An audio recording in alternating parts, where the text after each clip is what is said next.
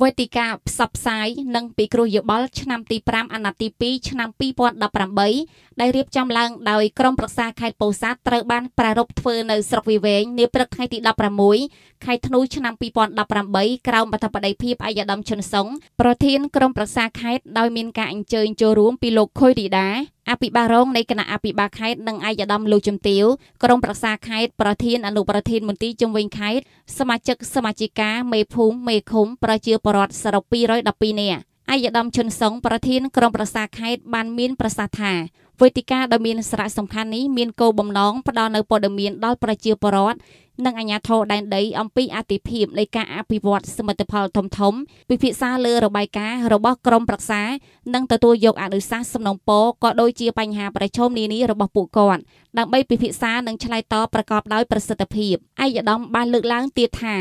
រាជរដ្ឋាភិបាលកម្ពុជា ក្រោមការដឹកនាំប្រកបដោយគតិបណ្ឌិតសម្ដេចអគ្គមហាសេនាបតីរាជហ៊ុនសែននាយករដ្ឋមន្ត្រីនៃព្រះរាជាណាចក្រកម្ពុជាបានធ្វើប្រតិភូកម្មអំណាចដល់រដ្ឋបាលថ្នាក់ក្រោមជាតិដូចនេះដើម្បីពង្រឹងស្វ័យភាពនិងអភិវឌ្ឍនៅធនធានមនុស្សតាមរយៈការបណ្ដុំបណ្ដាលទស្សនកិច្ចសិក្សា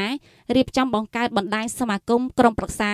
របស់រដ្ឋបាលខេត្តថ្នាក់ក្រោមជាតិដើម្បីឲ្យអង្គវេទិកាដ៏មានសារៈសំខាន់នេះប្រព្រឹត្តទៅដោយភាពរលូននិងទទួលបានផ្លែផ្កាល្អប្រសើរទាំងអ្នកចូលរួមមានមតិរបស់អាជ្ញាធរដែនដី និងតំណាងប្រជាពលរដ្ឋចាត់ទុកថាជាកញ្ចក់សម្រាប់ឆ្លុះបញ្ចាំងការបំពេញការងាររបស់មន្ត្រីរាជការដែលបានបម្រើសេវាសាធារណៈត្រូវតែប្រកាន់ខ្ជាប់នូវគុណធម៌សិលធម៌មនសិការវិជ្ជាជីវៈនិងភាពស្អាតស្អំសម្ដៅបង្កើននូវជំនឿទុកចិត្តនិងភាពកក់ក្ដៅរបស់ប្រជាពលរដ្ឋឯកឧត្តមបានបន្ថែមទៀតថា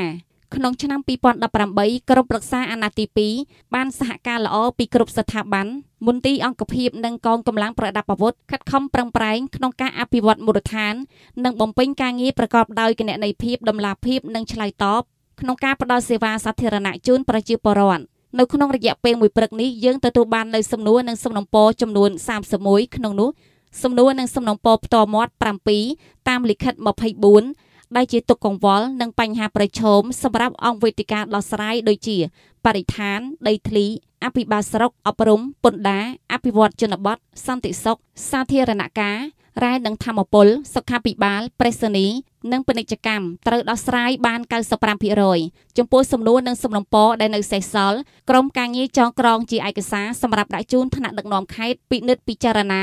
និងសេចក្តីព្រៀងលទ្ធផលគ្រប់ភូមិស្រុកដើម្បីផ្ញើជូនក្រសួងមហាផ្ទៃនិងស្ថាប័នពាក់ព័ន្ធ។